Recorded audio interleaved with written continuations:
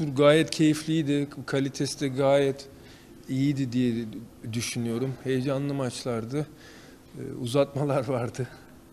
Penaltılar vardı. Futbol severin herhalde e, hayal ettiği, istediği şeyler bunlar. Ee, bu tura katılanları tebrik ediyorum ve e, yeni kurada e, gayet e, istediğimiz e, güzellik içinde oldu. E, maçlarda umarım e, daha iyi olur, daha güzel olur, daha başarılı olur e, takımlarımız. Burada genç e, isimler bu son turda ortaya çıktı. Umarım onlar tekrar fırsat bulur, performanslarının üstüne koyarak ilerlerler. Sizin de dikkatinizi çeken isimler oldu mu? Yani tabii ki burada e, tek isim ve iki isim üzerinde gitmemek lazım. Bizim için önemli olan e, federasyon açısından bizim değerli futbolcularımız var, gençlerimiz var. Bunları e, fırsat verdikçe bunları doğru bilgiyle e, donattığımızda ve e, desteklediğimizde e, en iyi şekilde e, performans göstereceklerini kendi takımlarında olsun, federasyonda olsun, milli maçlarda olsun e, bizi daha üst seviye çe- çekebilecekler. Performanslara, sonuçlara baktığımızda e, takımların seviyesi birbirine yakın. E, herkes e, eşit bir ortamda oynuyor.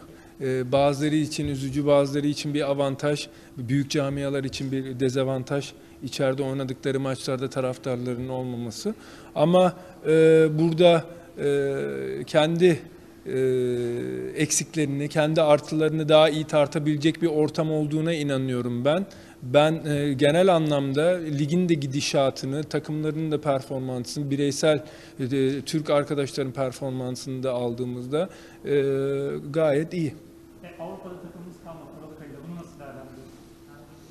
Burada zaten e, sıkıntılar olduğunu biliyoruz. E, geçen seneler maalesef Şampiyonlar Ligi'nde olsun, e, Euro Lig'de olsun e, iyi sonuçlar alamadık. E, burada çok e, istesek de ama gerçekçi olmak gerekir. Çok büyük de e, umudumuz yoktu.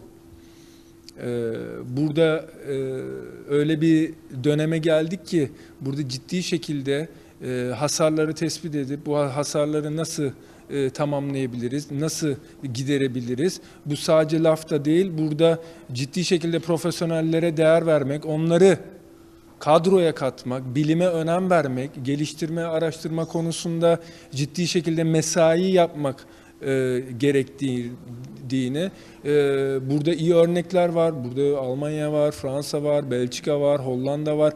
Ya biz onlar gibi olmak istemiyoruz ama onlardan öğreneceğimiz çok şey olduğuna inanıyorum. Yani 20 2020'ye baktığımızda e, A milli takımla ilgili e, beklentiler tabii çok yüksekti.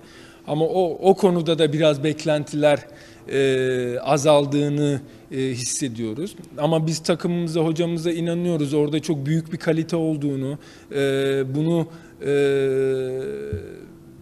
doğru konsantrasyonla, doğru çalışma metoduyla daha üst yerlere, seviyelere çıkartacağımızı da biliyoruz. Onun çalışmasını da yapıyoruz. Onun istişaresini, tartışması da e, içeride oluyor. Bunda emin olabilirsiniz. E, 2020 bizi tatmin etmedi. Ama e, şimdi Mart ayında eşleşmelerde dengeli bir e, grup olduğunu e, inanıyorum.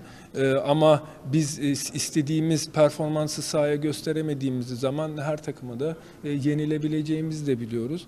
Ciddiyet bekliyoruz, destek bekliyoruz, duha bekliyoruz ve e, doğru metotla doğru sonuçlara ulaşacağız. Hedef Katar 22 kesinlikle.